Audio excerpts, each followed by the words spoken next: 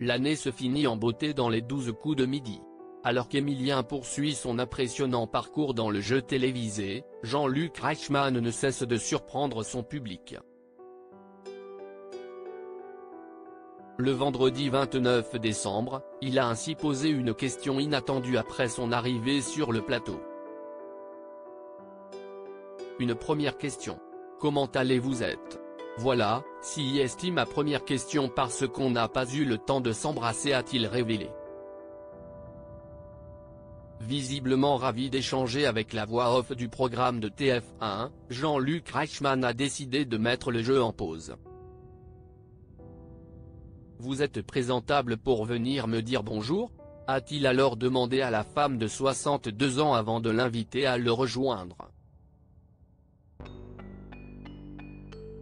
Z, de son vrai nom Isabelle Banhadj, est alors apparue pour le plus grand bonheur de l'animateur.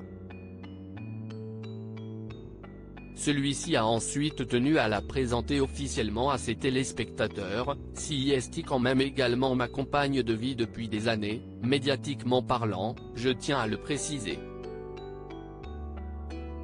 Z est dans la place. Jean-Luc Reichmann a évoqué la fille de Z après l'arrivée de la célèbre voix des douze coups de midi, Jean-Luc Reichmann a tenu à évoquer la fille de cette dernière, Céleste.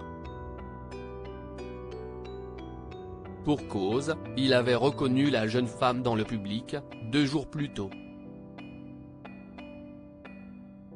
Z lui a alors indiqué à propos de ce passage remarqué, c'était dingue. On a passé un moment merveilleux, elle était hyper émue, le soir, elle en parlait encore.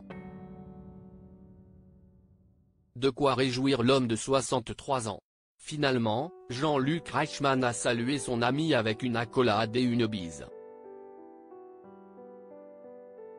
Rien ne pourra remplacer Z.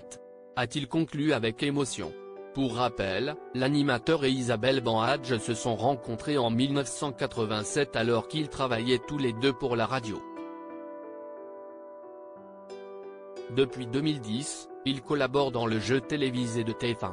Et si Z fait très rarement des apparitions en public, ses passages sur le plateau sont toujours des moments forts pour toute l'équipe.